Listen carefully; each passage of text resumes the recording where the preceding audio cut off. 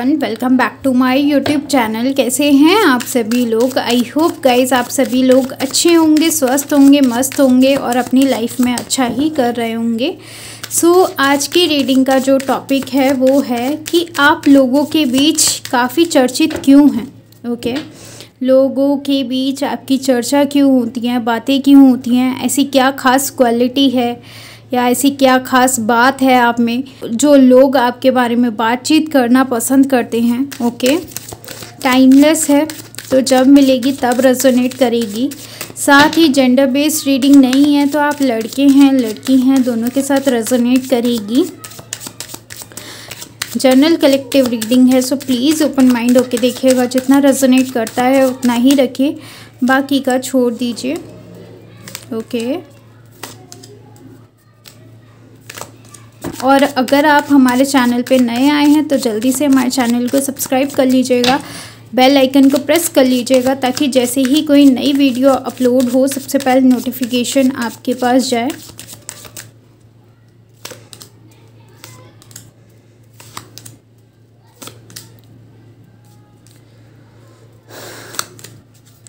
और अगर आपको मुझसे पर्सनल रीडिंग लेनी है तो आप मुझे कांटेक्ट कर सकते हैं। मेरी इंस्टाग्राम आईडी पे, जो कि मैंने अबाउट सेक्शन में लिंक कर दिया है। बॉटम ऑफ़ डेक आया है हमारा एस ऑफ़ वॉन्ट्स ओके मैं जल्दी से कार्ड्स को अरेंज कर लेती हूँ। I hope guys card visible होंगे आप सभी को। तो लोगों के बीच आप चर्चित क्यों हैं? ऐसी क्या खास क्वालिटीज़ हैं आपके अंदर जो लोग आपके बारे में बात करते हैं? फ़ेमस हैं आप लोगों के बीच। तो उसकी वजह ये है कि आप अपनी सेल्फ रिस्पेक्ट को ना किसी के लिए भी दाव पे नहीं लगाते। आप इस टाइप के पर्सन हैं कि ना किसी के साथ गलत करो, ना किसी के साथ गलत होने दो और ना ही खुद के साथ गलत करो, ना ही किसी को गलत करने दो। ओके? और इक्वल गिव एंड टेक वाली चीज़ों में आप ज़्यादा रहते हैं। आप काफ़ी बोल्ड पर्सनैलिटी के पर्सन हैं, काफ़ी क्लियर कट स्ट्रेट फॉरवर्ड हैं, किसी से डरते नहीं हैं। और थोड़ा सा ना आप ईगोस्टिक भी हैं बट वो ईगो अच्छे वाला है कि यानी आपने जो चीज़ भी अचीव किया, खुद के दम पे अचीव किया तो उसको लेके ना आपको प्राउड फील होता है। ओके? okay? और वो आपके फेस पे दिखता भी है। घमंडी नहीं है, लेकिन हाँ जस्ट ये है कि हाँ जो मैंने किया है, खुद के दम पे किया है। मेरी किसी ने हेल्प नहीं की है। तो एक है, अपने अंदर ना एक कॉन्फिडेंस है, वो वाली चीज़ें मैं कह सकती हूँ। और आपने अपनी लाइफ में ना काफ़ी स्ट्रगल देखे हैं, काफ़ी अप्स एंड डाउन्स देखे हैं, लेकिन अपनी डिग्निटी को नहीं खोया है आपने। अपनी ओरिजिनलिटी को कभी नहीं खोया है। और आप ना कभी भी चेंज से डरते नहीं हैं। चेंज को एक्सेप्ट करना, खुद में चेंज लाना और अपडेट होते रहना। जैसे हम कहते हैं ना कि समय के साथ आगे बढ़ते रहना चाहिए। वैसे ही अपनी सोच को ना थोड़ा चेंज करना। समय के साथ, माहौल के साथ एडजस्ट करना, खुद को बदलना, ये चीज़ें आपको बहुत पसंद है और आप बदलाव से ना डरते नहीं हैं। ये भी बहुत अच्छी चीज़ है कि आपको ना बदलाव से डर नहीं लगता। डट कर सामना करना पसंद करते हो। आप किसी कॉम्पिटेटिव एग्ज़ाम की तैयारी कर रहे हो, ऐसा हो सकता है। ओके और, या फिर ऐसा हो सकता है कि आप किसी ऐसी एक्टिविटी में भी पार्ट वगैरह लेते हो, जैसे मार्शल आर्ट वगैरह हो गया, या बॉक्सिंग हो गया, ये सब चीज़ें आपको पसंद है। कोई भी स्पोर्ट्स गेम भी आपको पसंद हो, ऐसा हो सकता है। तो काफ़ी एक्टिव हो, काफ़ी एनर्जेटिक पर्सन हो, और थकते नहीं हो, हार नहीं मानते, और एक हिम्मत के साथ आगे बढ़ना, एक पैशनेट पर्सन हो ओके, और कॉन्फिडेंस तो आप में भर भर के है। कभी कभी उन्हें ऐसा लगता है कि शायद उसकी वजह से आप में थोड़ा गुस्सा आ गया है या थोड़े गुस्सेल हो, लेकिन आप ना चीज़ों को लेकर काफ़ी ज़्यादा क्लियर कट रहना पसंद करते हो। काफ़ी अच्छे इन्वेस्टर हो सकते हो। आप शेयर मार्केट वगैरह में इन्वेस्ट करते हो, ऐसा हो सकता है। फाइनेंशली एडवाइज़र वगैरह हो आप, ऐसा भी हो सकता है। बैंक में जॉब करते हो, वो चीज़ हो सकती है। एक बिजनेसमैन हो सकते हो बिज़नेस वूमेन हो सकते हो। आप काफ़ी करेजियस हो बोल्ड हो एनिमल लवर हो। और यहाँ पे ना मुझे ऐसा लग रहा है कि आपके पास खुद का कोई पेट हो ऐसा हो सकता है। ड्रेसिंग स्टाइल काफ़ी अच्छा है। लोग इस चीज़ को ना काफ़ी ज़्यादा पसंद करते हैं कि जिस तरीके से आप खुद को कैरी करते हो जिस कॉन्फिडेंस के साथ। वो चीज़ उन्हें बड़ी अच्छी लगती हैं। ओके चाहे फिर आपकी हाइट छोटी है चाहे आप बहुत ज़्यादा लंबे हैं अगर लड़कियाँ ज़्यादा लंबी भी जो है ना हो सकता है कि जैसे भी आप हैं या आप हेल्दी हैं या आप बहुत ज़्यादा ही आ, पतले हैं, लेकिन जैसे भी हैं, आप खुद को ना बहुत अच्छे से कैरी करते हैं, बहुत कॉन्फिडेंस है आपके अंदर और आप ना चीज़ों से भागते नहीं हैं। ये सबसे अच्छी चीज़ लगती है और इसी वजह से लोगों के बीच आप चर्चित हैं कि चाहे कितनी भी बड़ी सिचुएशन क्यों ना आ जाए, आप गिव अप नहीं करते हैं। आपको गिव अप करना नहीं आता है, फिर चाहे रिलेशनशिप हो या फिर काम हो या कोई भी चीज़ हो। लेकिन आपको गिव अप करना नहीं पसंद है। गिव अप वाला एटीट्यूड नहीं है आपका। लेकिन अगर कोई आपके एफर्ट्स की वैल्यू ना करे आपकी बार बार एफर्ट्स डालने के बाद भी कोई आपको वैल्यू ना दे, उसके बाद ना आप उस चीज़ को ख़त्म करके आगे बढ़ना पसंद करते हैं। मतलब उसके साथ पीस क्रिएट करके आगे बढ़ना पसंद करेंगे, ना कि उसके साथ लड़ाई झगड़ा करना पसंद करेंगे। और साथ ही मुझे ऐसा भी लगता है कि पास्ट में ना आप बहुत ज़्यादा गुस्सेल थे, काफ़ी ज़्यादा एरोगेंट टाइप के पर्सन और बहुत ज़िद्दी टाइप के पर्सन थे, लेकिन आपने ना खुद को चेंज किया है। अपने गुस्से को पहले आप आर्ग्यूमेंट वगैरह करके लगाते थे, लेकिन अब भी ना आप अपने काम पे उस चीज़ को लगाना पसंद करते हो। उस अग्रेशन को ना अपने काम में डालना। अपने आप को काम में झोंक देना, वो वाली चीज़ें ज़्यादा हैं। साथ ही आपको ना अपने आप को टिप टॉप रखना बड़ा पसंद है। आप ज़रा भी ना अपने ड्रेसिंग स्टाइल में ना कॉम्प्रोमाइज़ नहीं करते होंगे।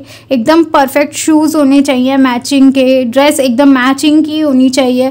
अगर लड़के हैं ना तो खुद को भी एकदम अच्छे से फिट बना रखा है जिम वगैरह जाकर, ऐसा हो सकता है।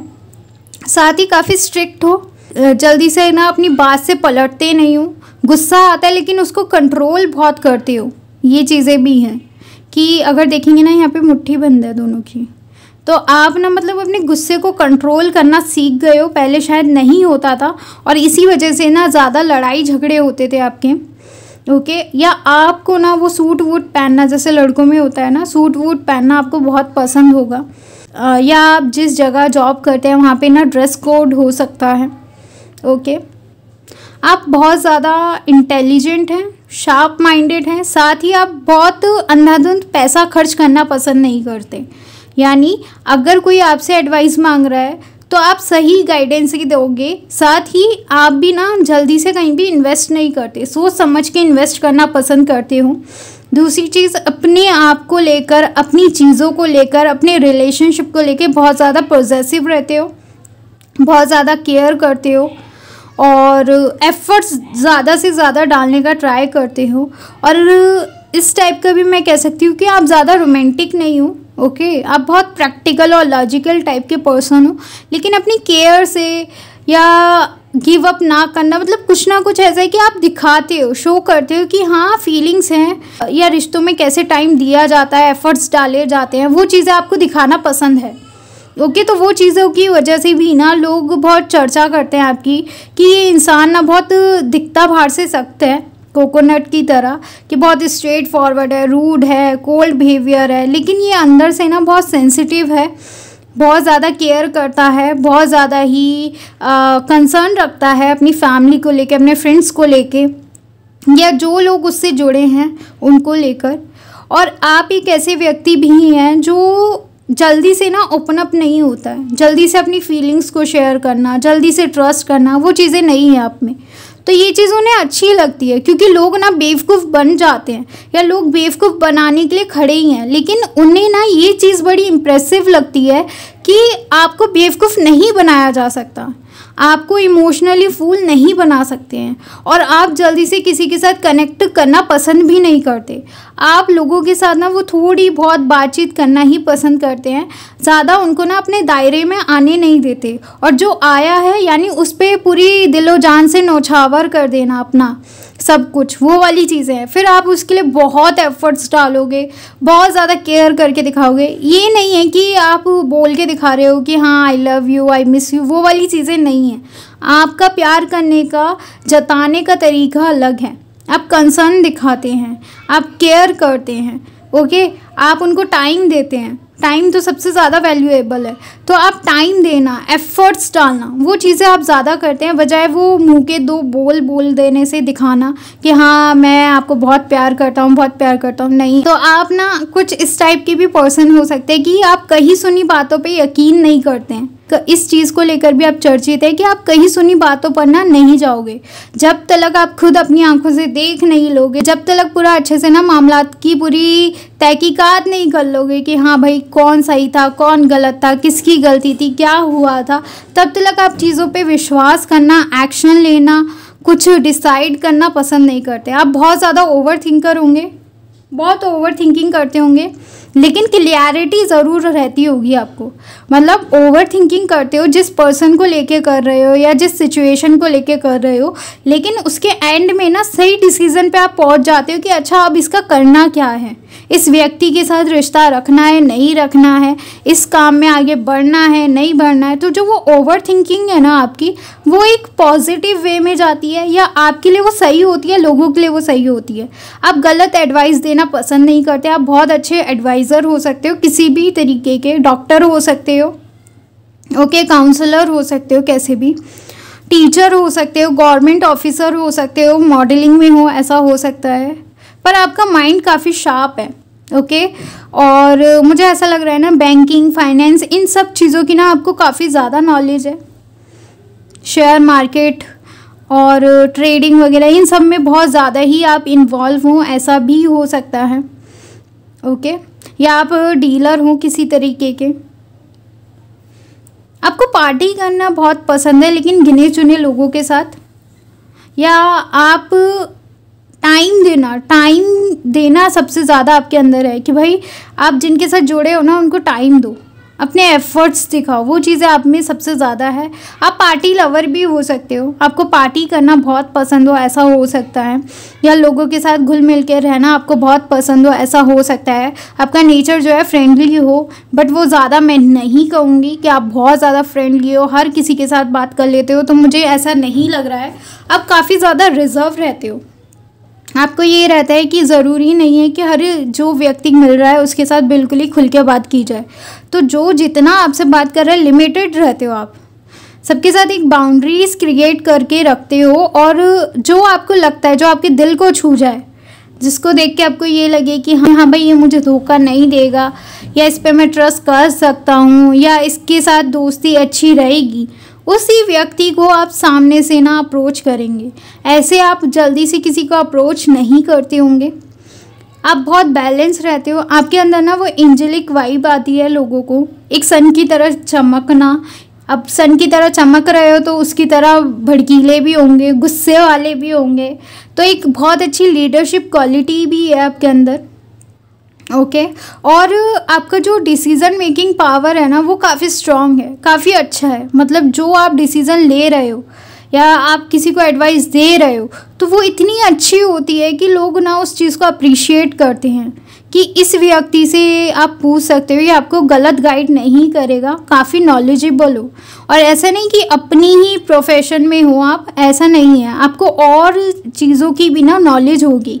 जैसे आप किसी और फ़ील्ड के हो, लेकिन दूसरी फ़ील्ड का भी आपको थोड़ा बहुत ज्ञान है। ओके, ऐसा हो सकता है। आपको न्यूज़पेपर पढ़ना न्यूज़ देखना, वो सब चीज़ें बहुत ज़्यादा पसंद होगी। या फिर ऐसा हो सकता है आपको हॉर्स राइडिंग वगैरह बहुत पसंद हो एनिमल्स के बारे में जानना माउंटेन्स वगैरह, इन सब के बारे में जानना, घूमना, फिरना, ये सब चीज़ें बहुत ज़्यादा पसंद होगी। नेचर के साथ कनेक्ट रहते हो आप। लेकिन हाँ ज़िद्दी भी हो आप।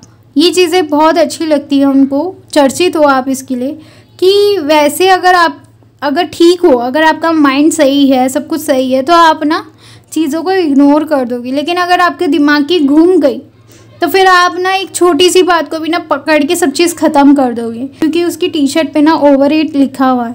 तो अगर आपके हिसाब से चीज़ें माफ़ कर सकते हो आप तो आप करते रहोगे, चाहे वो बहुत बड़ी चीज़ क्यों ना बोल जाए। लेकिन जिस दिन आपका दिमाग हिल गया, जिस दिन आप गुस्से में आ गए, उस दिन आप छोटी सी बात को लेके ना उस इंसान के साथ रिश्ता ख़त्म कर दें, उस टाइप के पर्सन है।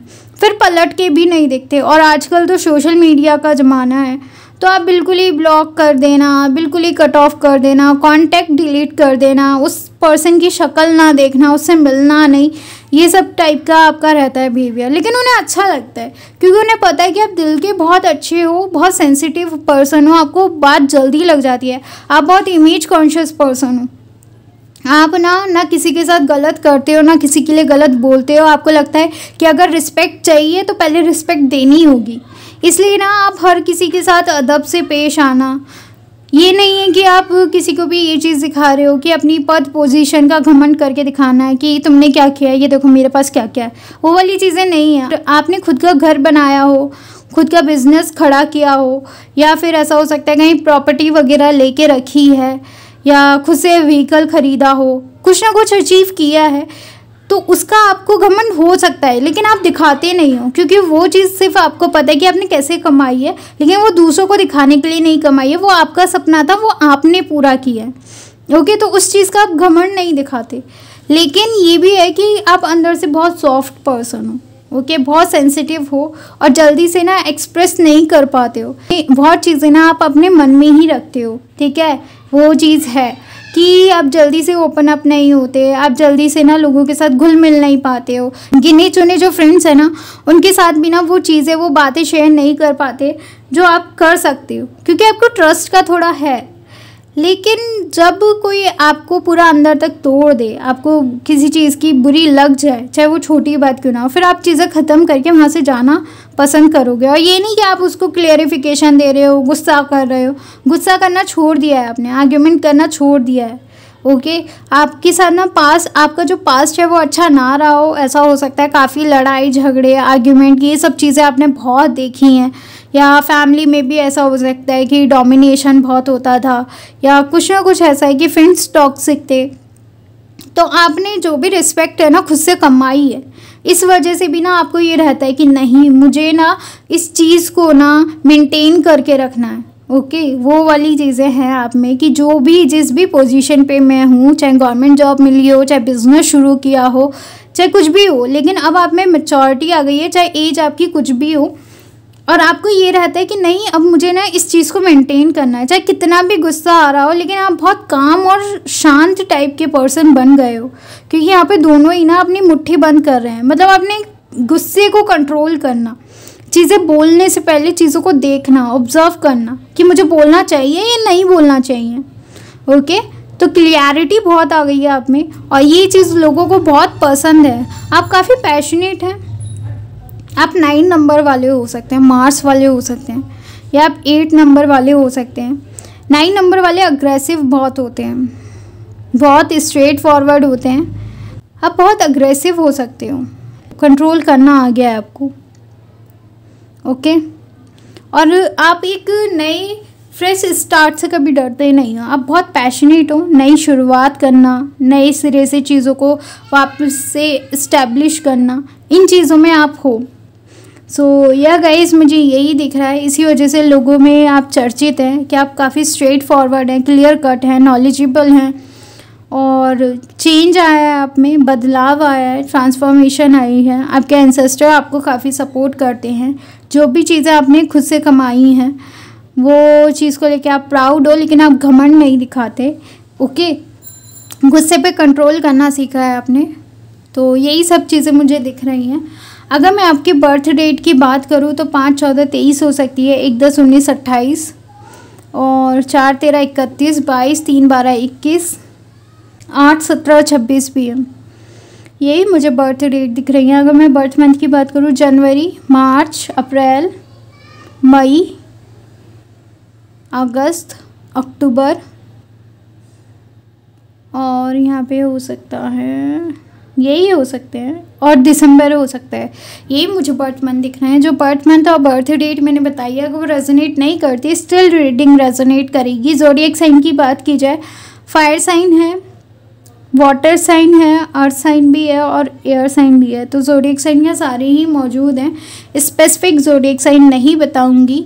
या गाइज़ आई होप रीडिंग अच्छी लगी हो रेजोनेट की हो की हो तो प्लीज़ लाइक शेयर कमेंट कर देना। चैनल को सब्सक्राइब ज़रूर करना। मुझे ज़रूर बताना रीडिंग कैसी लगी। मैं मिलूँगी नेक्स्ट रीडिंग के साथ। तब तक के लिए बाय।